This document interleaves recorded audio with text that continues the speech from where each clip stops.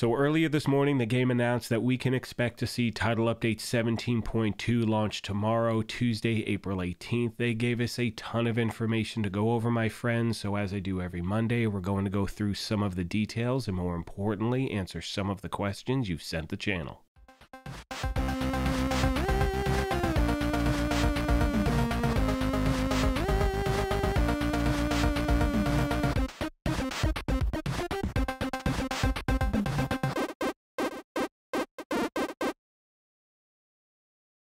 What's up, my YouTube family? Greybeard with the Gaming Brigade back with another Division 2 video. And as I said a moment ago, fellow agents, we have a lot of stuff to go over today, so we are going to jump right into the details. Now, if you happen to be new here, feel free to hit that subscribe or join button. If you enjoyed this, do me a favor really quick and hit that like button as well. And you know about the giveaways here, we are having one for PlayStation 5. But as always, I will save that information until the end of the video. And the first thing we're going over today are the patch notes for Title Update 17.2, which is now on the known issues board for the game. And as you can see, TU 17.2 launches tomorrow, Tuesday, April 18th. There are a lot of things to cover. First of all, there are going to be stability improvements to PC, and hopefully that will actually stick. As always, if you play on PC, please let me know what's going on as of tomorrow. Now, in regard to the manhunt, you can see that there is a laundry list of fixes that are being implemented. Now, I don't want to waste your time and read everything verbatim, but there are three that I want to point out really quick that I know a lot of you brought to my attention at the channel. First of all, they fixed the issue with the XP not being awarded after clearing the control points that are part of the manhunt, fixed the issue with the players being unable to collect loot dropped by Bantam if he is killed before descending from the platform during the last beat of his takeover bounty, and finally towards the bottom. And this is something a lot of you have been waiting to see for a long time. They fixed the issue with the DARPA mission remaining locked after completing the Pentagon mission, and as of tomorrow, if it is still not working, please let me know and I'll see what answers I can find out. Now moving on to some of the gear, weapon, and talent changes. Again, I'm going to give you a few highlights. Starting at the top, you will finally be able to craft the Regulus pistol. This has been something that a lot of players have not been able to do for a while, so as of tomorrow, that should be fixed. They fixed the issue with the Ninja Bike Messenger exotic backpack that was causing the previously equipped brand set bonuses to remain active after being unequipped or replaced. And sticking with the Ninja Bike, they also fixed the issue where if you were scrolling through the stats tab when you had the Ninja Bike equipped, there was a good chance your screen would go blank or the stats tab would disappear entirely. That should be working. And once again, agents, if any of these problems are still there tomorrow for you, please let me know. Continuing on to some of the other changes, they fixed the issue with the Caesar's Guard named chess piece of the Empress International brand set dropping with the weapon core attribute instead of the skill tier core attribute. Fixed the issue with the previously owned Caesar's Guard named chess piece having no core and attributes at all. And finally on this page, they talk about the fact that they fixed the issue with the Headhunter talent being triggered by headshot killing wildlife. This is all new to me. And they also fixed the issue with Determine and Perfect Determine being triggered by killing wildlife as well. Now moving on to some of the vanity fixes, fellow agents, and this again is more of an annoyance than anything else, but I'm glad they're finally taking care of this stuff. They fixed the issue with the Enduring Custom Weapon Skin not equipping on the black market, AKM, fixed minor clipping issues with the various necessary tactics apparel items, fixed the issue with the Aces Vest dye slot not changing the color of the vest, and finally fixed the issue with the Ninja Bike Messenger exotic bag clipping with various shirts. Moving on to some of the fixes for the expertise system, they fixed the issue with the information panel for the highlighted item not being updated properly for the mods and dye fields, fixed the issue with the insufficient materials message appearing if the bench level is not high enough to upgrade, now changed to bench level is too low, fixed the issue with the exclamation marks in the expertise menu not disappearing after viewing the new item, fixed the issue with the highlighted item in the list not resetting for sets in the expertise menu, and finally fix the issue where scrolling through a gear piece's stats in the expertise system also scrolls through the items list. Now the game is also making some changes to the summit conflict and countdown. Starting with the summit, they fixed the issue that allowed group leader to lock themselves in the summit lobby while other players from the group are going to the 100th floor. For conflict, they fixed the issue with players becoming invisible and applying damage to other players with skills after going out of bounds. And finally, when it comes to countdown, they fixed the issue with agents below level 40 being able to start matchmaking for countdown at the base of operations pilot, and they fixed the issue with the extraction zone text being flipped when the agent is inside the said zone. Now, as I mentioned earlier, agents, I will leave a link to all of these patch notes in the video description down below. That way you can check them out anytime you want. Now, there happens to be one more thing I'd like to go over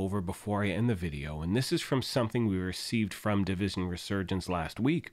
And this is something by now a lot of you have seen, but you can see the Division Resurgence said agent there is a hidden message to find in this picture, and upon looking closer at the vehicle on the right hand side, and upon zooming in, you can see the license plate says 0420-2023. And I know a lot of you are wondering, does this just have to do with the Division Resurgence? You've asked me if there's any information I can pass along. Now, at this point, while we do not have an official statement from the Division, the Division Heartland, or Division Resurgence, I have a feeling it is going to be a great day for the Division universe. I'm really looking forward to this Thursday. And as always, if you have any questions, comments, or feedback, I will get back to you as quick as I can. With all that being said, my friends, I'm going to start to wrap this up. However, as always, I want to take a moment and thank you all for your incredible support of this channel. And I promise you, once I have any tangible information to pass along, you know I will do that right away. Now, as I mentioned at the beginning of this thing, we are currently having a giveaway for a PlayStation 5. To enter, all you need to do is subscribe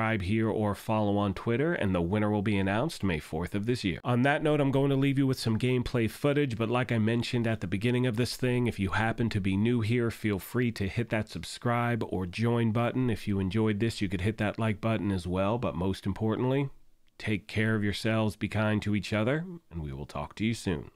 Thanks again, everyone.